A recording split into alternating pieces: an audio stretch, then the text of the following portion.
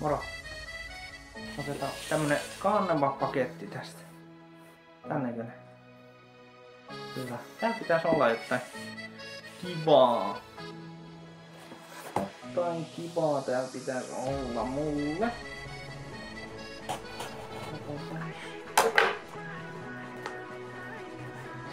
Katsotaan.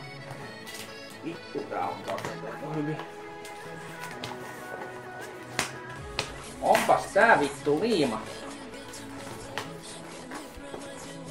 Mä olen itse tän suunnitellut tän. Katsotaan. Vittu, vittu tää on paketoitu tää. Tähän on oikein liimattu oikein kunnolla. Mitä tää sanotti, että tää tuli... En mä tiedä onko tää Saksasta tullut, mutta tota... Mutta tota tota... Vittu tää on muuten. Tää- Mä en oo ikinä nähnyt tämmöstä pakettia. Tämmöstä. Mut, tota, mut heidän, mut heidän, heidän niinku toimisto niinku löytyy tuolta Australiasta. Mut katsotaan. Onks siellä sit semmonen paita, minkä mä olen suunnitellut? Oh. One at Hund. Just like you. Wow. Kanva love hashtag. Joo, katsotaan. Mä en oo, mä en oo ikinä... Tää on tota... Täällä on ihan tota... No, joo. Katsotaan. Tän näköinen sininen paita. Katsotaan. Mä oon itse suunnitellut tän.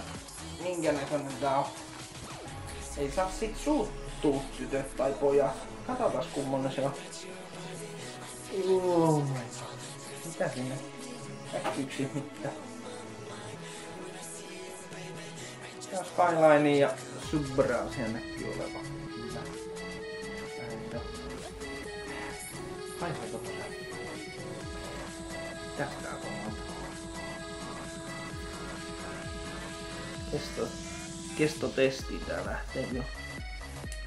Mut täällä oli laatikos Kerti Certificationit ja Planted Tree jotain 4000 hehtaaria jotain.